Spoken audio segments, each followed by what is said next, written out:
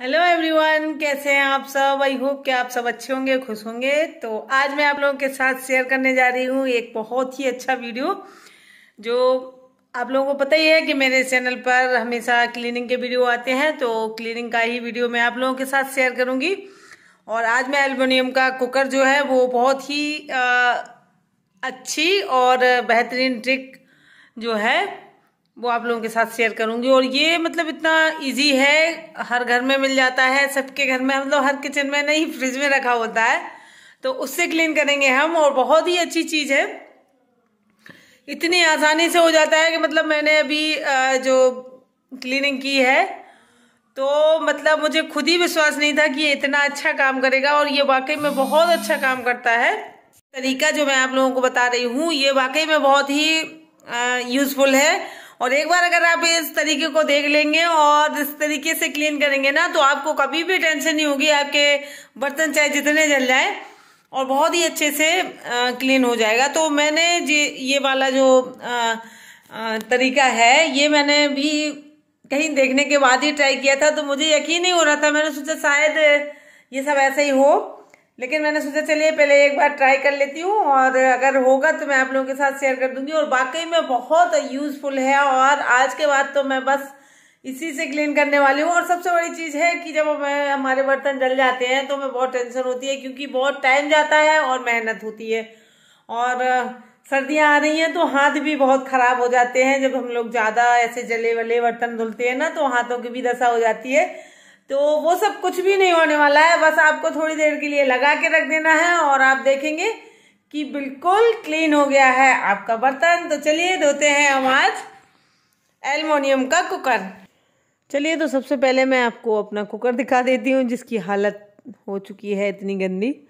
और ये जल चुका है पूरी तरीके से और इसको क्लीन करना है मुझे। तो मैं आपको, वैसे तो अगर मैं इसको नॉर्मली जैसे हम लोग नॉर्मल बर्तन धुलते हैं, वैसे धुलेंगे तो बहुत ज़्यादा टाइम लगेगा और शायद इतना अच्छा क्लीन भी ना हो तो एक बहुत ही आसान और बेहतरीन आइडिया है जो मैं आप लोगों को दे रही हूँ।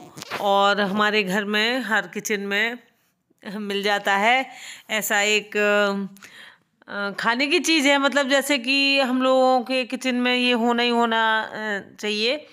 और इतना टेस्टी होता है और उससे हम करेंगे क्लीनिंग तो सोचा नहीं था मैंने कि इससे इतना अच्छा क्लीन होगा। तो आप देख सकते हैं, बिल्कुल बुरी तरीके से जल चुका है ये कुकर और अब हम चलते हैं इसको लेके तो बस करेंगे क्लीन और इसके लिए हमें चाहिए होगा टोमेटो केचप आपको यकीन नहीं होगा, टोमेटो केचप कैसे काम करता है, ये भी मैं आपको बताऊँगी। और टोमेटो केचप के साथ हमें एक चीज़ मिलानी होती है, बस और कुछ नहीं करना होता है। तो एक तो पहले सबसे पहली चीज़ जो है, हम टोमेटो केचप ले लेंगे। और इसको हम पूरे कुकर में जितना ये जला हुआ है, चारों तरफ़ अच्छे से फैला देंगे। तो इसको हम फैलाने के बाद एक इसमें एक चीज़ और मिलानी है हमें। और बस हमारा ये कुकर हो जाएगा बिल्कुल क्लीन बस हमें थोड़ा सा पेशेंस रखना है क्योंकि हमें तुरंत ही क्लीन नहीं करना है, इसको लगा के और थोड़ी देर के लिए रखना है।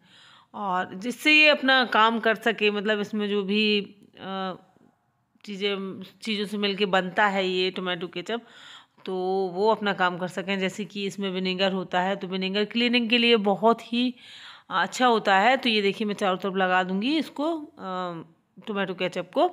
तो हमें बढ़िया अच्छे से फैला देना है और पूरे में लग जाना चाहिए जहाँ जहाँ ये जला हुआ है। तो बस ये जहाँ जहाँ लग जाएगा, थोड़ी देर रखा रहेगा तो ये अपना काम करेगा। और ये जला हुआ जितना भी है, ये सब इसको इतना माइल्ड कर देगा मतलब इतना सॉफ्ट हो जाएगा कि हमें फिर धुलने में कोई प्रॉब्लम नहीं होगी। और बस इसके बाद हमें जब हम ये लगा के और रख देंगे थोड़ी देर के लिए तो इसमें फिर हम एक एक चीज़ और मिलाएँगे, जो हम आपको अभी दिखा रहे हैं।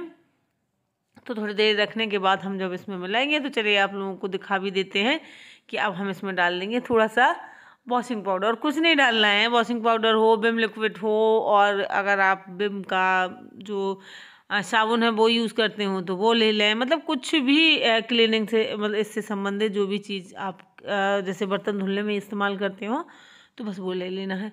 और ये देखिए, मैंने स्टील का जूना ले लिया है, और स्टील के जूने से ये इतना अच्छा क्लीन होगा कि मतलब आप को यकीन नहीं होगा, आप देख सकते हैं, मेरे लगाते ही मतलब उसमें कुछ भी टाइम नहीं लगा है। लगाते ही आप उसका कमाल भी देख सकते हैं। जैसे ही मैं जूना रगड़ती जा रही हूँ, वहाँ से वो पूरी तरीके से क्लीन होता जा रहा है। और केमिकल वगैरह जो है, मैं यूज़ नहीं करती हूँ खाने पीने के बर्तनों में या किचन की किसी भी चीज़ में। तो ये देखिए, आप, मैं जहाँ भी इसको घिस देती हूँ ना, वहीं पे बिल्कुल से क्लीन हो जाता है। तो आप देख सकते हैं, आप मतलब मैं बिल्कुल कुछ भी इसमें वो नहीं कर रही हूँ। मैं यहाँ तक कि मैंने कैमरे की लाइट भी ऑन नहीं करी है, जिससे आपको लगे कि ये बिल्कुल मतलब लाइट ऑन करने से थोड़ा सा साफ़ सा दिखने लगता है तो वो भी मैंने नहीं करी है। ताकि जो रियलिटी है, वो मैं आप लोगों को दिखा सकूँ, और वाकई में ये काम करता है। आप एक बार यकीन करिए मेरा, एक बार इस तरीके से क्लीन करके देखिए, वाकई में बहुत अच्छा काम करता है।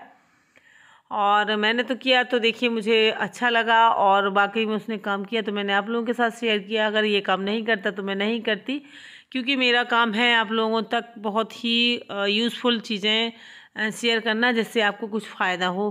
क्योंकि मेरा काम वीडियो बनाना है और मैं क्लीनिंग से संबंधित ही वीडियो बनाती हूँ तो मेरा काम है कि मैं आप लोगों को अच्छी से अच्छी चीज़ें बताऊँ, ताकि आप लोग मेरे वीडियो को पसंद करें। अगर मैं इस तरीके से झूठ बोल के या ऐसे करके कुछ भी आप लोगों के साथ शेयर करूँगी तो आगे से आप मेरा वीडियो खुद ही नहीं देखेंगे। और, इसीलिए मैं कोशिश करूँगी, करती हूँ हमेशा। कि आप लोगों को अच्छा से अच्छा वीडियो दे सकूँ और जो ऐसी चीज़ें आपको दिखा सकूँ जो वाकई में विश्वास करने लायक हों या पहले से मैं उसको टेस्ट करके ही आप लोगों तक वीडियो भेजती हूँ तो आप देख सकते हैं कि हमारी क्लीनिंग हो चुकी है और कितने अच्छे से क्लीन हुआ है।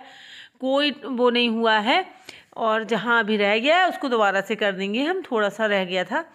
तो आप देख सकते हैं। ये देखिए, आप मतलब कहीं भी कुछ भी जले का निशान आपको नहीं दिखेगा, जितना बुरी तरीके से जला हुआ था वो कुकर, उससे भी अच्छा आपका क्लीन हो चुका है। तो आपको मेरा वीडियो कैसा लगा, ये आप मुझे ज़रूर बताइएगा कमेंट में, और जो लोग नए आते हैं, वो सब्सक्राइब कर लें मेरे चैनल को। तो आज की क्लीनिंग आपको कैसी लगी, ज़रूर